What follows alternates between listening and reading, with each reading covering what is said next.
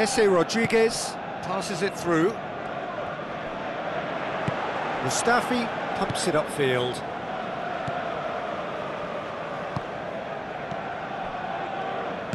Looks like a good ball through. It's come loose. Danger averted for now. And he has been fouled there.